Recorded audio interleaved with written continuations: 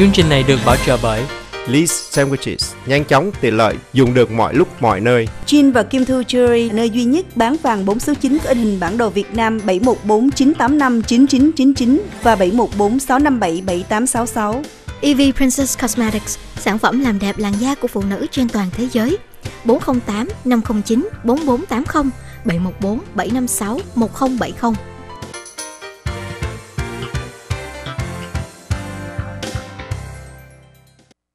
Xuân Quỳnh, Hoàng Trọng Thủy gửi lời chào tất cả quý khán thính giả. Chào đón quý vị đến với cà phê sáng của buổi, buổi sáng cuối tháng 9 và xin được báo với quý vị anh Đoàn Trọng.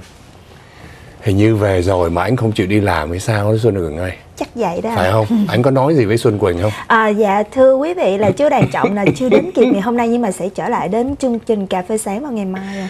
Yeah, anh à, về anh đi chơi sung sướng quá. Anh về tới nơi rồi nhưng mà sáng nay giảm không nổi thì có Dạ. thể về tối khuya hôm qua. Chúng tôi tiếp tục với một ngày ngày hôm nay nhiều tin tức để gửi đến quý vị lắm. Thế nhưng à, tối hôm qua và những ngày tháng tới trời rất là tuyệt vời. Có lẽ là thời lúc này là cái thời tiết ở California đẹp nhất luôn á. Dạ đúng Xuân vậy Quỳnh. thưa quý vị là Xuân Quỳnh thấy là bắt đầu từ bây giờ thì trời nó mát hơn phải không anh? Dạ, mát hơn nhiều, tối hôm qua lạnh lắm. Và nhiệt độ ngày hôm nay cũng thế nữa. Và người ta hy vọng rằng trong những ngày tới Tôi thấy thì hầu như nó chỉ có ấm áp thôi thưa quý vị. Chẳng hạn như là ở Westminster ngày hôm nay đó, nhiệt độ xuống khoảng ờ, 59 độ là buổi tối thấp. Ban ngày có 74 độ thôi Xuân Quỳnh. Dạ Rồi đúng. ngày mai đó nhiệt độ nó cũng tương tự như thế Cho nên từ bây giờ đến tối nay Ngày mai rất là tuyệt vời luôn. Dạ. Bên cạnh đó thưa quý vị vào đến thứ à, những ngày tới thì thực sự đến thứ tư thì 83 nhưng mà bởi vì quý vị thấy là tối hôm trước nhiệt độ xuống dưới 60 đó. Cho nên trong nhà của mình nó giữ cái nhiệt độ lạnh luôn. Mà ban ngày đó thì nắng không có bao nhiêu cả. Nó ấm áp. Cho nên thời tiết phải nói rằng quá tuyệt vời. Cái độ ẩm nó chỉ vào khoảng từ 44 là thấp nhất và cao khoảng 52%. Và nhiệt độ này nếu quý vị nhìn thấy trong những một hai tuần lễ tới đó cho đến cuối tuần tới luôn và cuối tuần này luôn nữa thì là rất là tuyệt vời cho nên không cái gì phải lo cả. Thế nhưng riêng ở Việt Nam trong mấy ngày hôm nay cứ mỗi cuối tháng 9 đó Xuân Quỳnh ở Việt Nam thì xảy ra cái tình trạng nước lợn. Việt Dạ. Nam thì gọi là chiều cường. Tức là thủy chiều lên á. Nhưng mà nói là thủy chiều lên thì một ngày nó lên mấy lần nó xuống mấy lần. Dạ đúng. Nhưng mà riêng với cuối tháng 9 thì dường như do cái hiện tượng của mặt trăng và không những riêng ở Việt Nam nữa mà nhiều quốc gia ở vùng Đông Nam Á vân vân cũng bị ảnh hưởng.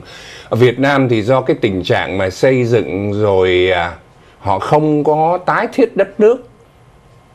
Tái, tái thiết thì họ chỉ lo xây dựng bên trong các thành phố nhưng mà ở ngoài gần với bờ sông thì đây là hình ảnh của quận 7 rồi có những cái hình ảnh ở Cần Thơ nói chung là những khu vực nào sát mé sông đó thưa quý vị thì ảnh hưởng với cái tình trạng gọi là nước lớn thủy triều nó lên rất là mạnh và theo bản tin ghi nhận ờ, trong nó lên trong vòng 4 năm ngày luôn Wow. và Mà nước lớn cho đến ngày, nước à, ngày rất là mai. khó lái xe.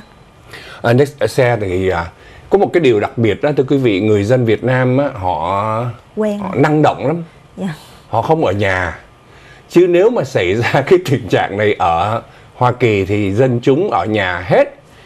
Mà tôi cũng thắc mắc nữa, mặc dù là thời tiết thì báo là có cái hiện tượng nước lớn rồi, nhưng mà chắc có lẽ là quen rồi, cho nên năm nào cũng xảy ra cái tình trạng này, cho nên người dân họ cứ đi, nghĩa là rất là thoải mái. Rồi xe hư thì hư họ vẫn tiếp tục đi làm rồi có những người mà à, đi xây dựng nó mang theo đồ đủ thứ hết rồi họ vẫn cứ phải rồi buôn bán nữa. Dạ. làm sao mà buôn bán được? Lúc này chúng tôi nhìn thấy nhiều cái hình ảnh họ vẫn để mở cửa tiệm rồi à, bán hàng rong ở khắp nơi hết. Khủng khiếp luôn. Và không biết được chính quyền có khuyến cáo người dân ra sao. Chứ còn nếu như mà xảy ra ở đây thì nội cái nước nó mưa nó ngập ngập chút xíu thôi là người ta đã ra khuyến cáo từ vài ngày trước để người dân né người dân tránh đi. Mà nếu có xảy ra nước như thế này ở Việt Nam thì không ai dám lội ra đường hết. Thứ nhất là xe nó hư. Thứ hai là quý vị thấy nước á, vô cùng độc ô nhiễm. Mà tôi thấy có nhiều người tội nghiệp lắm cứ đi bộ ngoài nước rồi ngay cả cái người quay những cái cảnh này họ cũng cầm máy quay để ra ngoài để mà quay mà thôi. Yeah. cho nên đây là cái hiện tượng hiện nay mà người dân ở Sài Gòn ở các nơi khác à, phải gánh chịu. Mình không nói tới mưa quý vị nha mưa ngập là cái chuyện đó đương nhiên rồi. Nhưng mà cái hiện tượng này một năm xảy ra một lần. À, một người ở Sài Gòn và ở Cần Thơ cũng cho biết là họ nói rằng năm ngoái cũng vào tháng cuối tháng 9 thì cũng đã xảy ra cái tình trạng này nhưng mà nước không có ngập nhiều như năm nay. Cho nên năm nay có vẻ là nặng nề hơn và gây ảnh hưởng rất lớn tới cả hàng triệu người ở khắp nơi. À, riêng ở Sài Gòn thì nó xảy ra ở quận 7 nhiều. À, tôi không biết ở những nơi khác bởi vì mình theo dõi tin tức thì à, thấy à, hình ảnh họ quay đó là ở quận 7. Rồi à, xe chết máy mà nhiều người họ họ đi, họ phải làm, họ phải đi công việc cho nên họ phải đi rồi họ lỡ đi ngang khu vực này chẳng lẽ quay đầu lại thì không biết đi đường nào nó kẹt xe hơn nữa Dạ. thôi thì cứ cắm đầu mà đi nhưng mà khi mà cắm đầu đi như thế thì à, xe cộ nó hư hết thưa quý vị Dạ. Thưa À, quý vị là tiếp theo dạ. là cũng một thông tin về nước luôn thưa anh Vâng. Hoàng Trọng Thụy nhưng mà nước tại California à, đây thông tin này liên quan đến cái tình trạng sức khỏe của chúng ta thì mới đây nhất theo một báo cáo của nhóm cộng tác môi trường đó là các chất gây ô nhiễm hóa học đã được phát hiện trong các nguồn nước lớn phục vụ hơn 70 triệu người dân tại California và nhóm cộng tác môi trường là một tổ chức phi lợi nhuận chuyên bảo vệ sức khỏe con người và môi trường đã nhận thấy rằng cái nguồn nước của 74 hệ thống à, nước cộng đồng phục vụ 7,5 triệu người ở California đã bị nhiễm hóa chất có tên là PFAS. Ngoài ra thì cơ quan bảo vệ môi trường Hoa Kỳ viết tắt là EPA cũng cho biết là các nghiên cứu đã chỉ ra là nồng độ cao nhất của các chất à, hóa học nhân tạo mang tên là PFOA và PFOS, hai trong số hàng loạt các hóa chất có thể gây chức năng uh, có thể khiến cho cơ thể của chúng ta bị ảnh hưởng về mỡ xấu cholesterol trong cơ thể cùng với các vấn đề về hệ miễn dịch và các vấn đề về tuyến giáp và thậm chí là có nguy cơ dẫn đến bệnh ung thư. Tổ chức môi trường cũng đã sử dụng dữ liệu của các mẫu nước này lấy từ năm 2013 cho đến năm 2019, tức là uh, cái nước của chúng ta bị ảnh hưởng trong suốt một quá trình thời gian dài đó anh. Um, trong vòng một năm qua chúng tôi đã gửi đến quý vị rất nhiều các bản tin về các nguồn nước bị nhiễm độc mà họ nói rằng không phải chúng ta có cái cảm nhận là nước độc lúc này đâu nhiều người nói chứ nước ở California và các nơi thì thấy rất là tốt mà có gì đâu mà độc như thế. Nhưng mà họ khuyến cáo bởi vì cái chất mà PFAS này thưa quý vị khi mà đi vào trong cơ thể chúng ta chúng không có tan được. Nó khác với những cái hợp chất khác Dạ. mà cơ thể chúng ta thì cũng không thải ra được.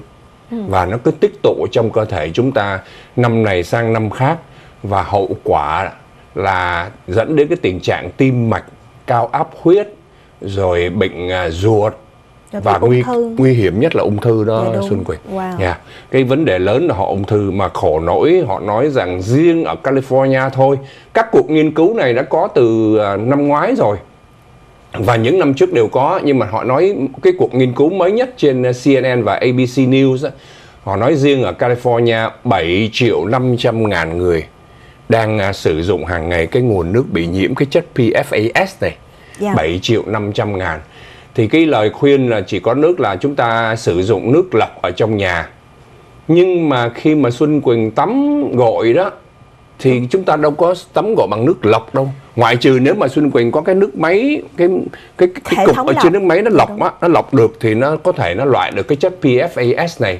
Nhưng mà bình thường chúng ta tắm ở nhà thì cái nước đó nó không có được ngăn ngừa và vì thế nó sẽ thấm vào lỗ chân lông của chúng ta Dạ đúng.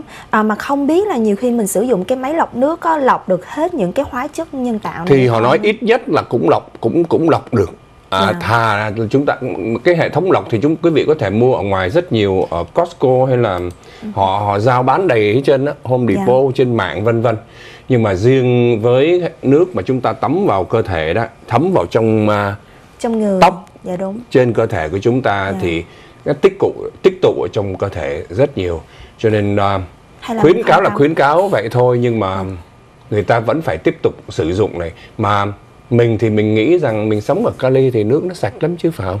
Nhưng mà thỉnh thoảng nghe những cái bản tin như thế này mình cũng lo lo thưa quý vị.